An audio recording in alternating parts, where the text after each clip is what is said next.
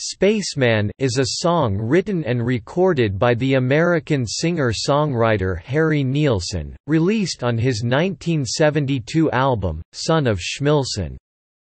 One of the highlights on Son of Schmilsson, with its dramatic opening fanfare and a cross between folk with a heavy R&B rhythm, the song explains the desire and downfall of the narrator, who wished to be a spaceman and now wants to go back to Earth but is stuck in space. The song was one of the three Nilsson's songs that became a hit of the year, the other two being Remember Christmas and You're Breaking My Heart.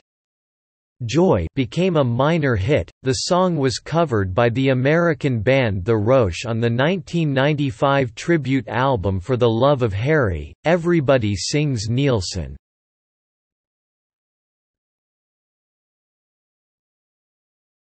Topic: External links. Http colon slash slash www.allmusic.com slash song slash spaceman dash mt 0034225631 http colon slash slash www.discogs.com Nilsson son of Schmilsson release 682504